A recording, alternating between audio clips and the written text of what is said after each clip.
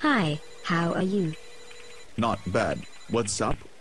Nothing much. You want to hear a joke? Okay. Alright, I know this guy right.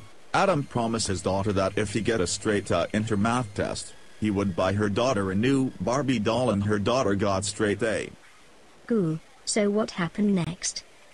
Well, he walked into the toy store and asked the store person saying, how much does the Barbie dolls cost and the store person says Barbie to pup $25.95, Barbie nurse $25.95. Barbie to the disco $25.95, Barbie to the beach $25.95, divorce Barbie $100.55. So the father asked why do all the Barbs cost $25.95 but divorce Barbie cost 100.55? And the cell person says, well sir, that is because divorce Barbie get her husband's house, car, boat, money and private beach.